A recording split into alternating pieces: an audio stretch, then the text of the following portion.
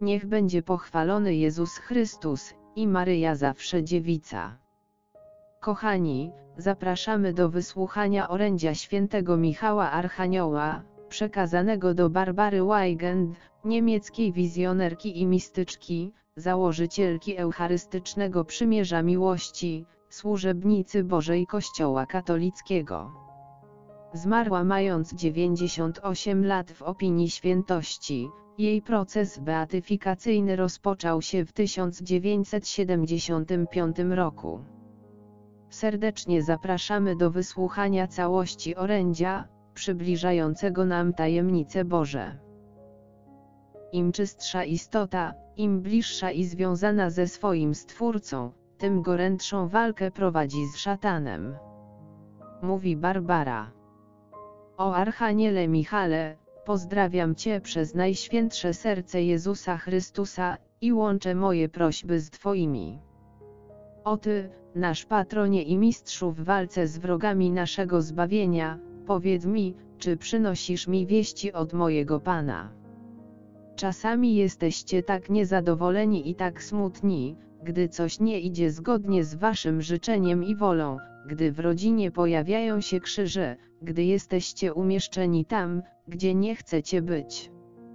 Jesteście niechętni, gdy inni stoją obok was, którzy są wam przeciwni, którzy wchodzą wam w drogę. Ale oto Twoje życie będzie symbolizować życie całego Kościoła Świętego, całej ludzkości, bo jak Twoje życie, tak i całe stworzenie od czasu upadku. Oto ja jestem jednym z tych błogosławionych duchów, które zostały stworzone na długo przed stworzeniem ludzi. Pokój panował w Królestwie Światłości, gdzie mieszkam, i nic nie zakłócało niebiańskiego spokoju, i nieustannie duch każdego chwalił swego Stwórcę, dopóki nie wszedł grzech, dopóki dumny Lucyfer ze swymi naśladowcami nie zaciemnił Królestwa Światłości, i nie powstała pierwsza walka w stworzeniu.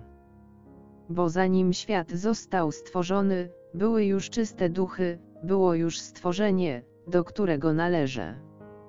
Była to pierwsza i największa walka, jaka kiedykolwiek była i kiedykolwiek będzie widziana, chociaż była ona tylko duchowa. Musicie wiedzieć, że im czystsza istota, im bliżej jest swego Stwórcy, tym ostrzejszą walkę prowadzi z szatanem, ponieważ miłość tych wielkich duchów musi być bardziej wzniosła i większa. Miłość tych duchów, tych stworzeń, była większa aniżeli wszyscy ludzie razem mogą kochać, ponieważ i oni miłowali swego Pana czystą, niesamolubną miłością, a miłość ta była tym większa i bardziej zacięta, im większa była nienawiść drugiej strony. Nastąpiły zapasy i walki, i tak się to potoczyło z tymi odstępczymi duchami, w pokojach było światło, lecz cicha melancholia pozostawała w umysłach i duchach, gdy patrzyli na swych poprzednio tak wiernych i drogich braci. Ta tęsknota poruszyła ich Pana i Boga, do stworzenia człowieka i to stworzenia go bardzo szybko, aby znowu mieć swoją radość w człowieku i aby uzupełnić to, co utracił w aniołach. Musisz wiedzieć, że Bóg nie chce grzechu, ale pozwala na niego. Wszyscy jesteśmy Jego stworzeniami, a jednak tak szczęśliwi, że możemy uczestniczyć w Jego błogości, która trwa wiecznie, wiecznie. Lecz teraz jest wielka, niebiańska różnica pomiędzy Stwórcą a stworzeniem, a Jego nieskończony majestat żądał i musiał żądać, aby w wiecznych czasach było ustanowione jako ostrzeżenie dla Jego stworzeń, że On może przynajmniej żądać od nich próby, a mianowicie, że stworzenia powinny przejść próbę, ponieważ mają dzielić błogość Stwórcy.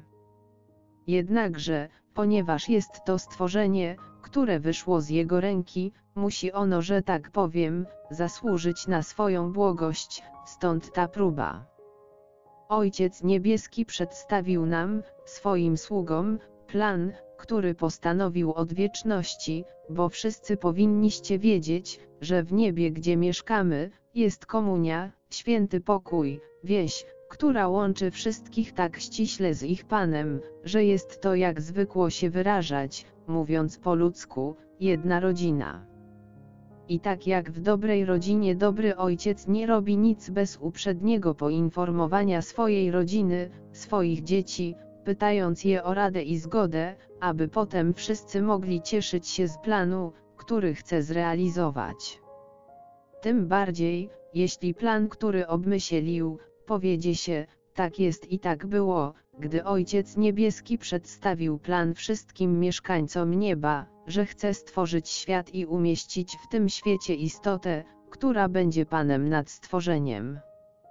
Ale ponieważ On otoczyłby to stworzenie, człowieka, ciałem i wziąłby je z ziemi, to pociągnęłoby to człowieka w dół. Potem nadejdzie czas, kiedy człowiek zbuntuje się przeciwko niemu.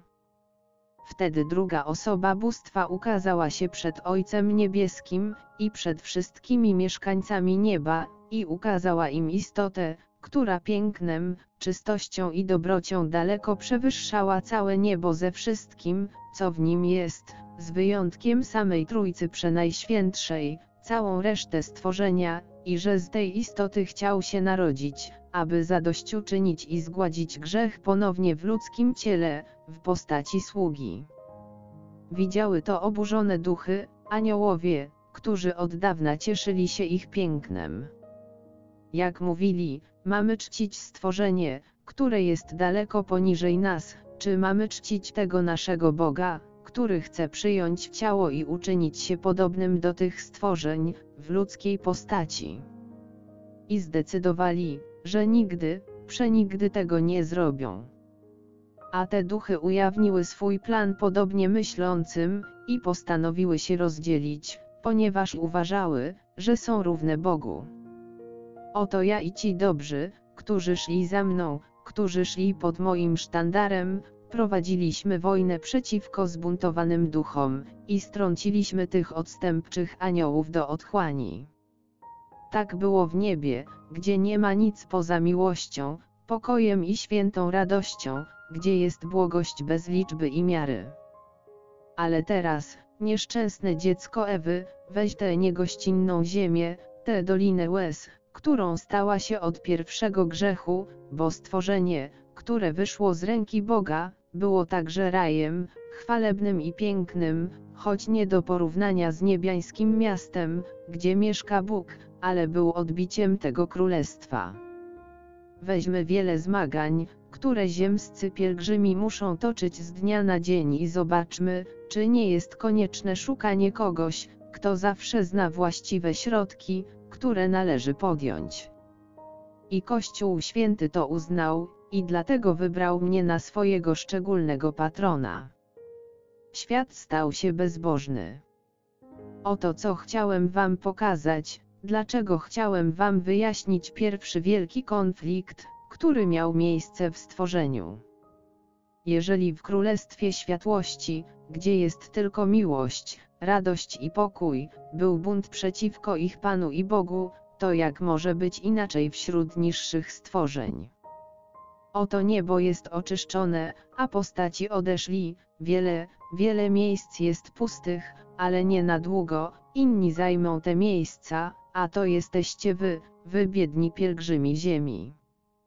Tak jest i tak pozostaje, gdy stworzenia buntują się przeciwko swemu Stwórcy.